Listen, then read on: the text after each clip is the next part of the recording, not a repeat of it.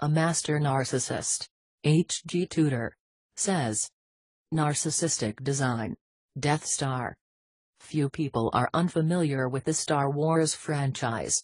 In the first film, A New Hope, Han Solo, Obi-Wan Kenobi, Luke Skywalker and Chewbacca have emerged from hyperspace in the Millennium Falcon only to find an Imperial TIE fighter and an absence of the planet that they had hoped to reach. Instead as a perplexed Han Solo tries to figure out what is going on, the TIE fighter is seen racing towards a small moon that Luke has identified. As the sphere comes into view, Obi-Wan states with a calm dread. That's no moon. Indeed it is not. It is in fact a space station and specifically the machine of mass destruction that is the Death Star. Once recognition has dawned on the quartet along with the fearful consequence of being near to such a powerful weapon, they try to escape but it is too late. The Millennium Falcon has been caught in the Death Star's tractor beam and they are slowly dragged towards the waiting Death Star. We are that Death Star. We glide along appearing at first to be something benign or at least neutral, our true purpose masked to those we seek to pull into our sphere of influence. Our tractor beam is powerful, unceasing and almost impossible to resist as it attaches to our victims and with our legendary seductive ability hauls them into our world. Like a rabbit caught in the headlights you are unable to escape as we pull you closer and closer to us. By the time you realize what has happened and that we are indeed no moon it is too late. You have been caught and escape is extremely difficult. Our true purpose is hidden from and if you ever do realize that is a Death Star you are sailing towards you will find it so very difficult to escape the iron hold we have over you.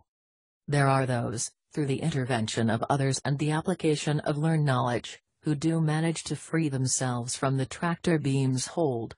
It is a rarely immediate, the escape that might occur usually only takes place after a long period of time subjected to our burning lasers of hurt and our photon torpedoes of misery. If you manage to escape you know by now that you must stay away and keep away.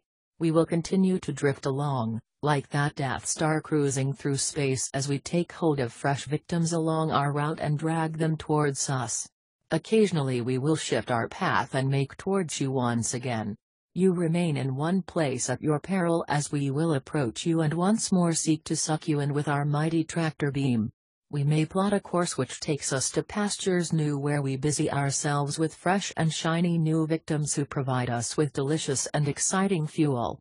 This will occupy us but we will never forget about you. You will similarly never forget about us because of what we have done to you and the way we have conditioned you. This conditioning engenders a sense of curiosity in you. You need to know what we are doing, you want to know who we are interacting with now and thus you decide to fly past our Death Star, just for a distant view of the edifice that once nearly destroyed you. You feel safe watching from a distance as you fly by but be warned. Fly too close and that tractor beam will take hold of you again. If you give us any opportunity to hoover you back in once again we will seize it. You appear on our sensors and we will increase the power of the tractor beam in a bid to capture you once again. It may have been years since there was any interaction between us but if you fly too close to our Death Star then you will be sucked back into it and subjected to our machinations once again. When you first try and escape we apply the tractor beam to keep you where we want you, but if you are determined and manage to depart then we set a course for new horizons and new fuel. We may at a later date decide to alter our trajectory again and move back to your solar system in the hope of grabbing you once more. Should you see us coming you need to jump in your spaceship and fly somewhere else quick.